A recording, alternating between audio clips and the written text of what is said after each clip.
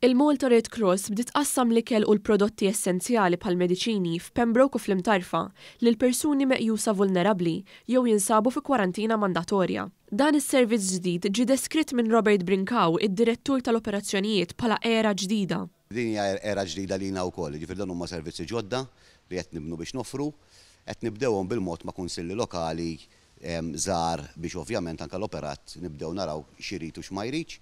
Is-servizz huwa ma' persuni vulnerabbli, ma' persuni li huma maqfula d-dar biex ovvjament ninkoraġġuhom biex jibqgħu d-dar biex nagħmlulhom il-ħajja faċli u kemm jista' jkun li joqogħdu d-dar diġà sagrifiċċju aħseb u ara li jkollhom bżonn ċertu bżonnijiet u ma jistgħux jilħquhom. Dan kollu kien possibbli grazzi għas-sostenn li taw numru ta' kumpaniji, fosthom il-GoTo, li sellfu erba' karozzi lir-Red Cross biex jintużaw għal dan il-għan. Brincau appella għal aktar volontiera sabiex ikunu jistgħu jżidu l-lokalitajiet li fihom joffru s-servizzi.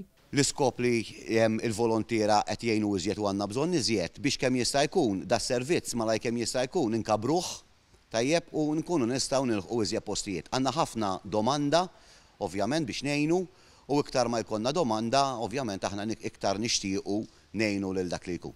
Ir-Red Cross qed tgħin ukoll fl-iscreening tal-impjegati ta' numru ta' kumpaniji u entitajiet.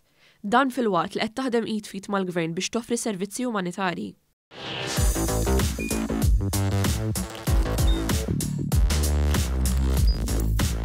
Idħol fuq one.com.mt u hemmhekk tista' tara l-programmi kollha li jxandru fuq One permezz ta' One Play.